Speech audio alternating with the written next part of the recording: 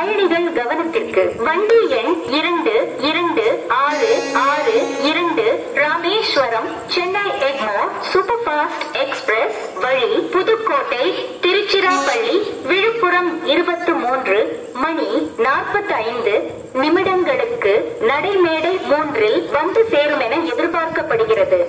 Your attention please. Train number 2266 Rameshwaram, Chennai Egmore Superfast Express via Pudukkottai, Tiruchirappalli, Viluppuram is expected to arrive on platform number 3 around 23 hours 45 minutes.